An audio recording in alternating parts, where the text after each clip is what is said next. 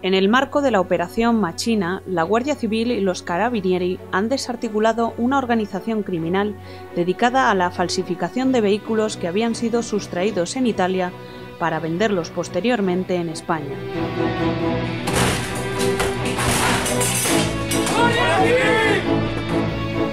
El modus operandi consistía en sustraer vehículos con pocos kilómetros junto con los permisos de circulación italianos en blanco para introducir datos a voluntad.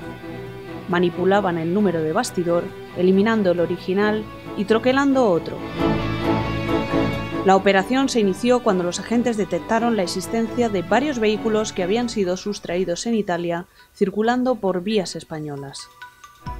En las investigaciones se pudo comprobar que dichos vehículos se encontraban en situación de ilegalidad, ya que su documentación había sido sometida a cambios, tales como el número de bastidor, la placa de matrícula, el permiso de circulación y cartas de propiedad, dotándoles de esta manera de apariencia de legalidad.